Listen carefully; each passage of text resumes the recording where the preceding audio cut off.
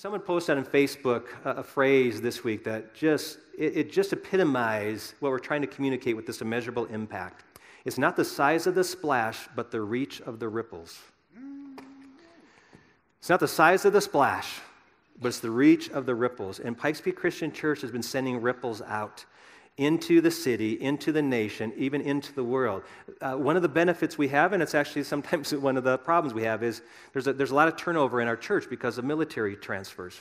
But at the same time, we get to send people out into the world hopefully stronger, healthier marriage, a deeper faith when they go to other military installations around the world. And so, because of that, we're constantly rippling outward places all over the world, and our missionaries are serving in places all around the globe. The ripples are being felt out. We may not be a splashy church, we might not be big and fancy. And make a lot of noise in a single moment, but I just have to tell you, when you step back and look, none of us probably imagine all the ripples that are being sent out through this church with individuals. In fact, someone caught me in the foyer before this service and said, You know, um, since we've been coming to this church, my wife has invited six other people that now attend this church. And it just made me think how, how many of you are in this church because someone in this church invited you? You just raise your hand real high. Wow. It just goes to show you that each of you sitting here can be used by God to send another wave outward. The people that you influence, for Christ. The people you touch, the people you minister with, and even the people you bring into this church are people that, that, God is touching through you. So all of us are doing this together. This is, this is what the church is, and this is what's so exciting about God's church. I want to talk today about the immeasurable impact of a message because there are hundreds of religions in the world, but there's something very distinct about Christianity. Very distinct. And if we're not careful, we may categorize Christianity along with every other religion, say they're, they're basically all the same and they basically all teach kind of the same things, and they're really all trying to get people to God. But I want to tell you this there are many religions, but there's only one gospel. And it, it really is the core of who we are. We would not be a church if not for this message. I would not be a Christian if it was not for this message. You know, I have to tell you, growing up, I heard a lot of sermons. I doodled during a lot of sermons. I snoozed during a lot of sermons. I, I zoned out during a lot of sermons.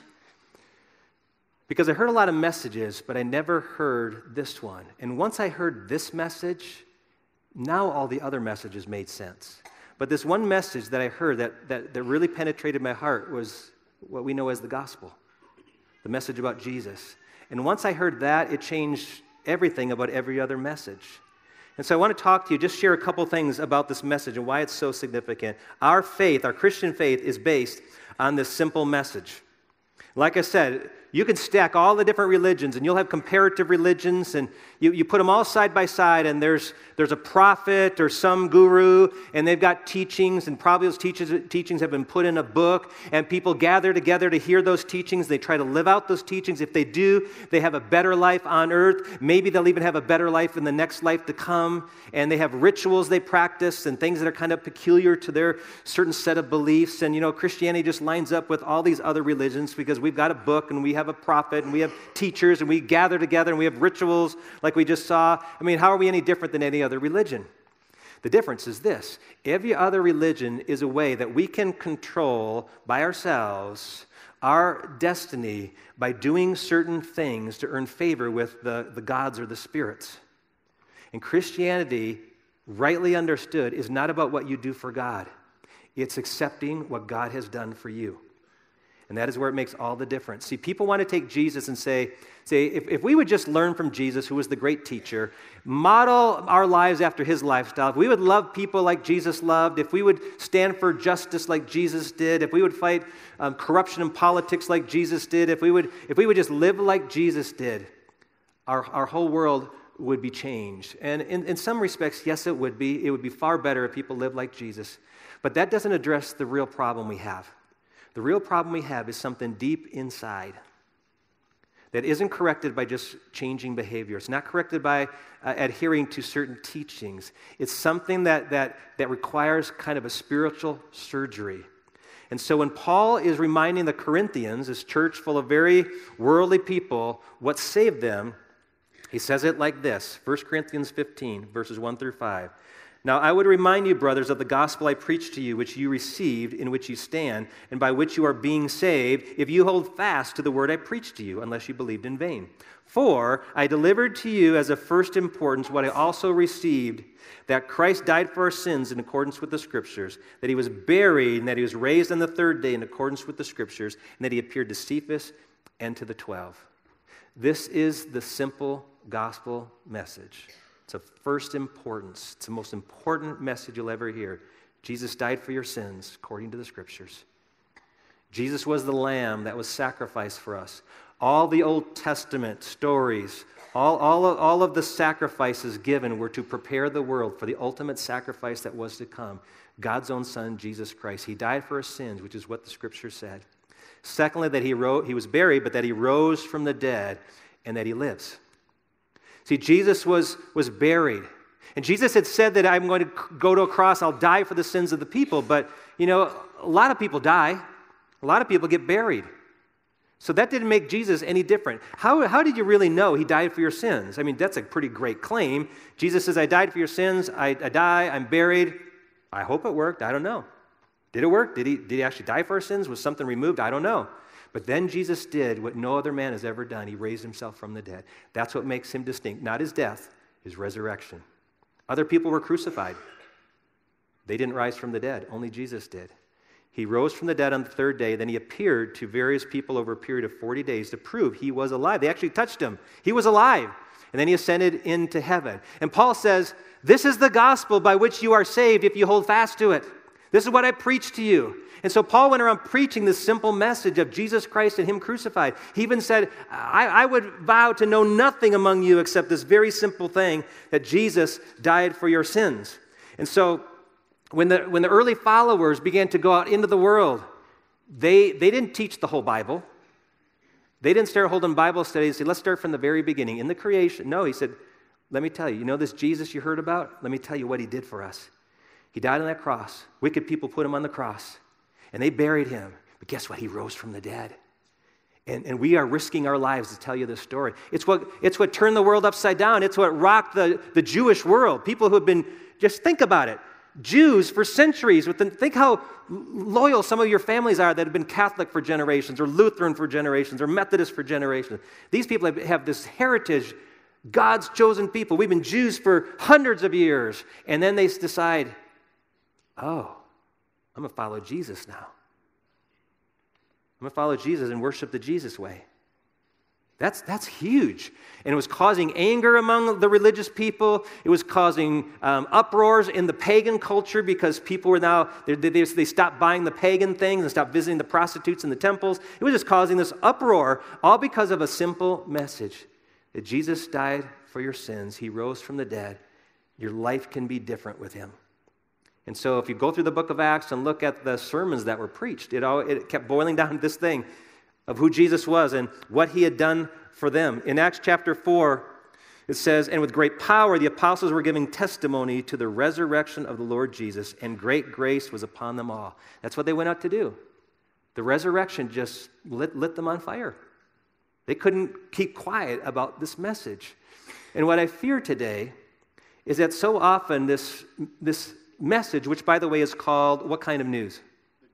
Good news. You don't get good news unless you first have bad news. What's the bad news? Well, the bad news is that you and I are sinners, and sin has separated us from God. If you've been reading with us through the book of Nehemiah, uh, one of the things I love about going through the Bible slowly is I gain things I didn't pick up before. And one of the things I noticed in Nehemiah chapter 9 is a prayer. The people actually prayed the history of the Jewish people. They start with creation and they go all the way to their present day when they were in exile. And they look back and say, Here's where we went wrong. God, you made this world, you made it beautiful. And, and, yet we sinned against you. And, and we were led into Egypt where we were slaves for years, but you heard our cries and you rescued us. And you proved yourself strong and you fed us uh, water and manna and you guided us with the, with the fire by night and the cloud by day. You did all this for us, and what did we do? We turned against you. We were stiff necked and stubborn. And yet you led us once again to enter the promised land, the land flowing with milk and honey, a land that was full of uh, prosperity, and you opened the doors for us to enter and take that land. And what did we do?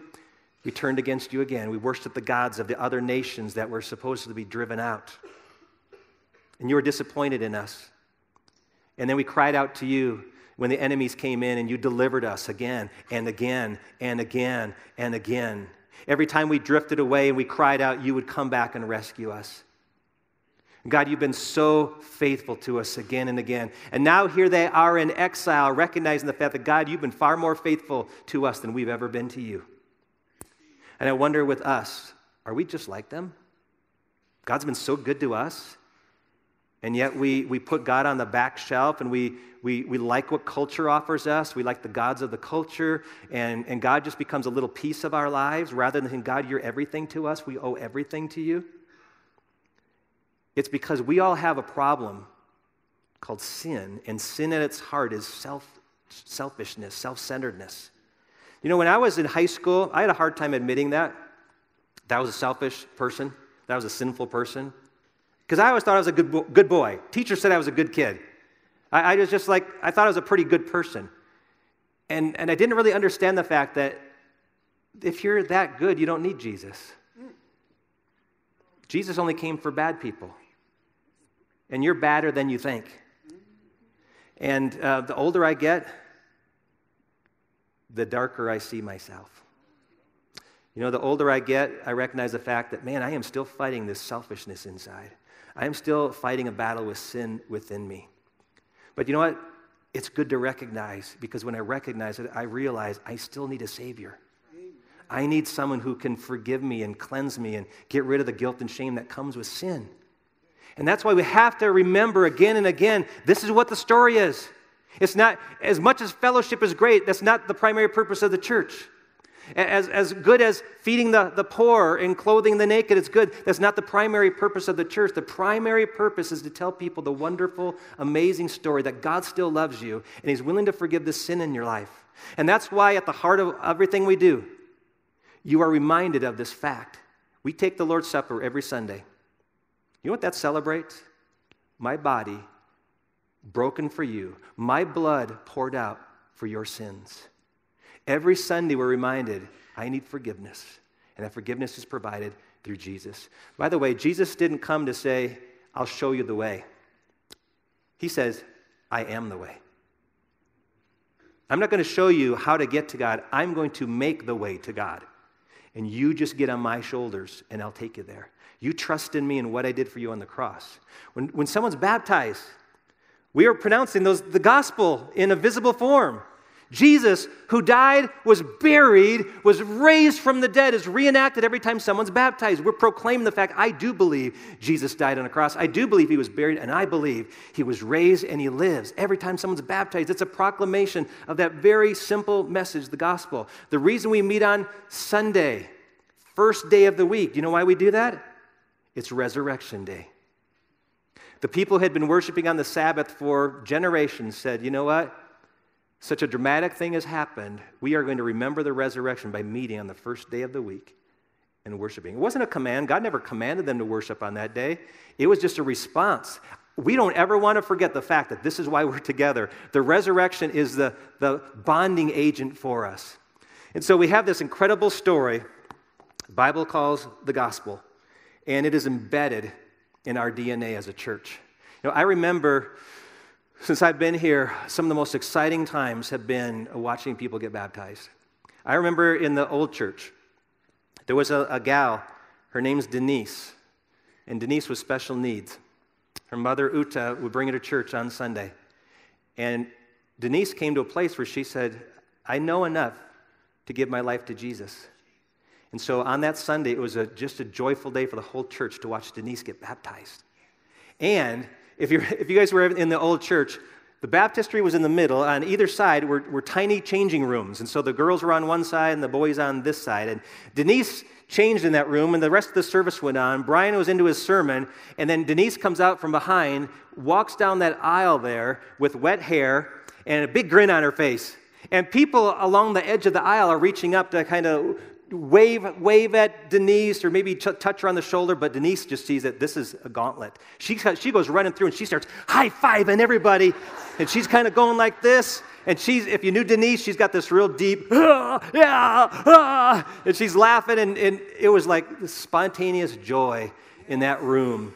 I remember before we moved from that building to this building, it's going to show up in one of the videos, but it is truly one of the most amazing stories. We had been in a campaign to build this building, and it was called Greater Things. And we really believe God wanted to do greater things than we ever imagined if we would just pray and trust Him.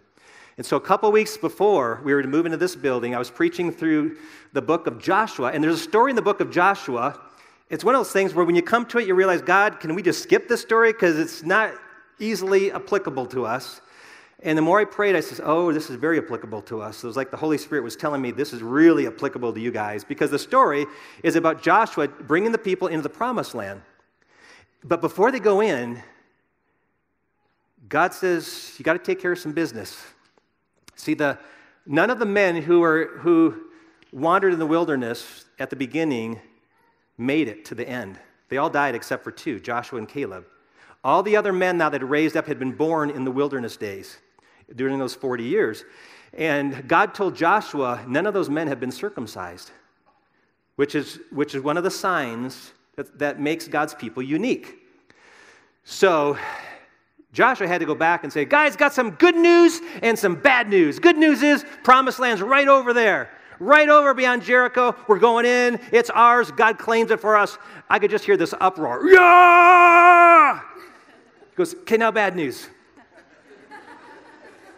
Um, drop your drawers. and I've got my knife right here. We got to take care of some business. I mean, I can't imagine that whole conversation. To be really, really awkward and painful because these aren't babies, these are men. But here's the point God said, This is an act of obedience that should have been done a long time ago. If you're going to obey me over there, you start right here.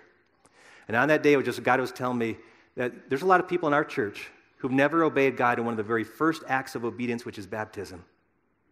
They've been at church, they believe in Jesus, they just never gotten in the water. And Jesus said, one of the first marks of a disciple is to be baptized. And so I, I, just made the challenge. I said, a lot of you just need to quit putting out excuses of another day or when my, when my family's in town or when it feels good or whatever. And you know what you should do. And today's the day just to say yes to God. Say, I'm going to do it. No excuses. I know what Jesus did for me because the best time to obey the Lord is always right now. And we expected that we'd have, you know, a dozen or more people get baptized. But on that, on that weekend, Saturday night service and the three services Sunday, there were 67 people baptized. And, and if you were in that service, it was incredible. I mean, people just flowed. I mean, even while we worshiped, people were coming down the aisles. The last service, over 30 people walked up and said, Today's my day. None of this was planned ahead of time. Nobody knew going in that day, today was the day I was going to be baptized. But 67 people said, I'm done making excuses. And maybe some of you are at that place. Just need to stop making excuses. In this building here, we've had some of my favorites are when the MOPS group comes over, or re-engage group comes here, or, or the, the Fuel group comes here and celebrates in an intimate way a baptism of somebody within their group. I mean, it is just incredible when someone says, I believe that gospel message. Because we are a community of people who believe that message. Uh, the, the church is built on us who believe that message. In Romans chapter 1, verse 16, Paul says, I am not ashamed of the gospel, for it is the power of God for salvation to everyone who believes. It is the power of God. There is power in the gospel. When you experience that power in your life and your life has actually changed, you want to tell people. You want to, you want to share that with other people. And so God says, Tell you what, you'll be my witnesses. And a witness tells people what they've seen, what they've experienced. He didn't say, Pastors, you're going to be the witnesses. He said, You'll be my witnesses. You are a witness. I'm a witness. Do you know what happens when the whole church owns that responsibility to be a witness? The ripples keep going out. I mean, there are people that you know that you should be inviting to church. There's people you know that you should be telling them what God has done for you through Jesus, the burdens He's lifted, the freedom. You're, you do not have to point fingers, you don't have to judge others. You're testifying to what God has done for you. This is who you once were, this is who you are now. This is what Jesus has done. It's giving him the glory for what he has done in your life. We are church that should be doing that on a regular basis. It's every believer's job. And I love when when someone gets a hold of that and they just run with it. There was a young man who was in our youth group at the old church on Aspen Drive. His name was Jeremiah Holcomb. And Jeremiah's parents got divorced. His mom remarried. And uh, his dad wanted to start taking him to church, so they went to the old church on Aspen Drive. Jeremiah was in elementary school at the time, and he said the church began to teach him the books of the Bible, and he started memorizing scriptures. And then he got into sixth grade, which he said was a life changing year, because the teacher in that class was an elderly lady named Mally Whitley. Some of you know Mally, she's legendary here. Um, Mally gave him a Bible, and he still has this Bible today. He says, I began to really fall in love with what was in this book. He said, in, in high school, at a CIY conference, I committed myself to full time Christian service. Then he graduated, went to Manhattan Christian College, and following that, ended up going into youth ministry. Um, then he pastored some small country churches. And three years ago, Jeremiah and his wife and his kids moved to the, the community of Eudora, Kansas, to plant a church called the Refuge Christian Church. We got to help with some initial funding to get that church off the ground. But in three years, they're self supporting now. They average attendance about 91 on Sunday, and they baptize 17 people and have seven small groups that meet on a regular basis. And Jeremiah um, wrote me this note. He said, I will always consider myself a Timothy of Pikes Peak Christian Church and am forever grateful for her commitment to teaching the foundation of the Bible and salvation in Jesus Christ. I look forward to seeing more great things from Pikes Peak Christian Church in the future. The ripples keep going. We invested in a sixth grade student who fell in love with this book, who gave himself to full time Christian ministry. Not that that's more glorious than any other profession, but that he said, I've got to tell people this story. I want my whole life to be about telling people this story. It's because of people like you who invested in them. See, we, we need to share this message with the world that's hurting. But you know what? If you've never received it, it's pretty hard to share it. It's pretty hard to testify to something you've not experienced. And some of you are like those people standing on the sidelines saying, I'm still watching and checking it out. I've never fully embraced this message. But I want to take you back to the first sermon that was preached after Jesus rose from the dead. It's found in Acts chapter 2, where Peter's preaching. He says, Men of Israel, hear these words Jesus of Nazareth, a man attested to you by God with mighty works and wonders and signs that God did through him in your midst, as you yourselves know. This Jesus, delivered up according to the definite plan and foreknowledge of God, you crucified and killed by the hands of lawless men. You crucified him. You didn't drive the nails in, but it was your sins that put him there. And friends, that includes you and me. You put him on that cross.